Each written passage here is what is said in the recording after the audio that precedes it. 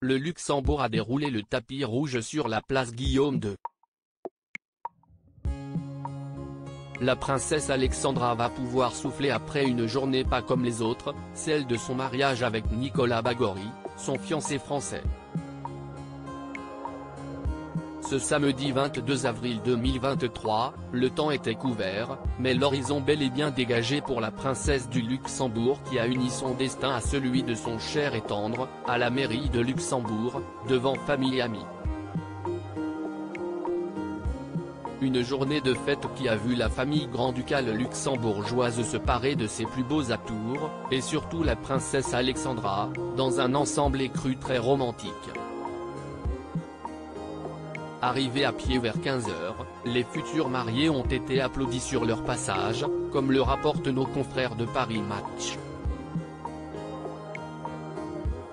La princesse Alexandra était vêtue d'un tailleur écru et d'une cape assortie, ses cheveux lâchés, mais accessoirisés de barrettes romantiques. Nicolas Bagory, lui, était en costume bleu marine. Le mariage sera en deux temps puisque, le week-end de prochain, le 29 avril, une cérémonie religieuse sera célébrée à Bormes-les-Mimosas dans le Var. En France.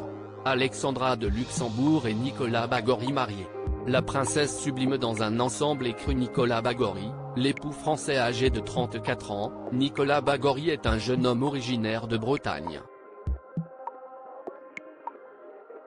Après avoir vécu et grandi dans cette région où se trouvent de nombreux membres de sa famille, il est parti suivre des études de lettres classiques à Angers, puis à la Sorbonne, à Paris. Le directeur de son école d'Angers l'a d'ailleurs décrit comme cultivé, vif d'esprit, capable de beaucoup de finesse et même d'une certaine distinction intellectuelle. Sa droiture, son idéal et son goût pour l'engagement en font un étudiant aux potentialités étendues a-t-il même ajouté.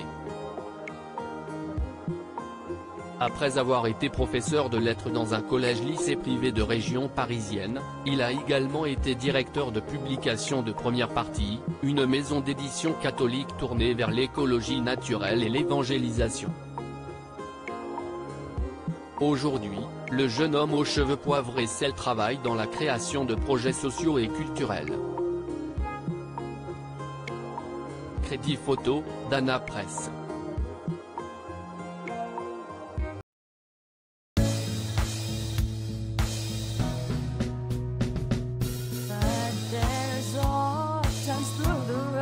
I've been